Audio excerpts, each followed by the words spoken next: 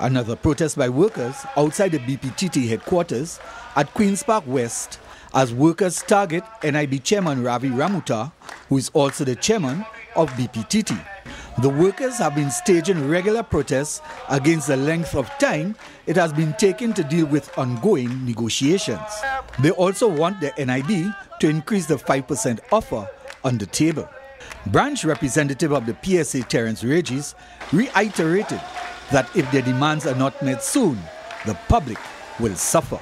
There are going to be inconvenience because there's no other mechanism open to us but to restrict the supply of labor at a particular point, and that would result in inconvenience.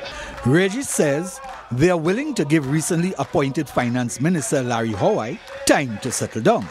But he says the minister must adopt a different stance from that which now exists.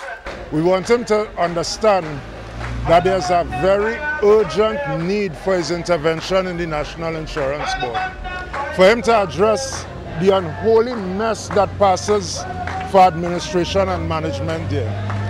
The union is also demanding the reinstatement of eight workers who were suspended because they were participating in union activities, increased staff, proper office working procedures, and an increase in the widow's pensioners benefit, which now stands at $400.